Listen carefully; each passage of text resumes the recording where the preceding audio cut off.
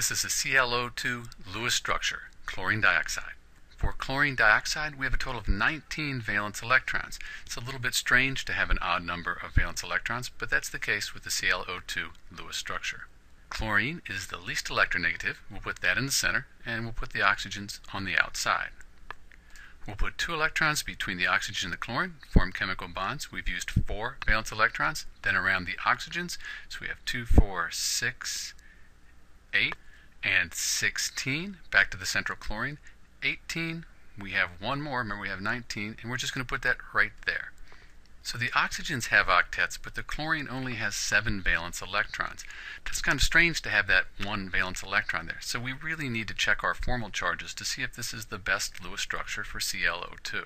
For the chlorine, we have seven valence electrons for chlorine on the periodic table, minus non-bonding, so we have two, three non-bonding, minus the bonding valence electrons, we have two, four of those, but we're going to divide that by 2, and that gives us a total of plus 2. That's the formal charge on the chlorine.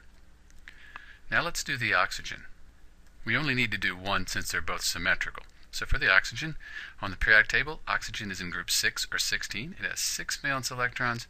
Non-bonding, we can see that those are these right here. 6 minus our bonding. These two right here are involved in a bond. So 2, we'll divide it by 2. And that gives us a negative 1. That's the formal charge for this oxygen here. This oxygen over here will be negative 1 as well. So our total charge is 0, but we have this plus 2 on the chlorine and these negative 1s. With formal charges, we want them to be as close to 0 as possible. That'll give us the most likely Lewis structure for ClO2. So let's see what we can do. I know that I can take two valence electrons from the oxygen and share them with the chlorine to form a double bond, and that'll reduce the formal charge on the oxygen and the chlorine.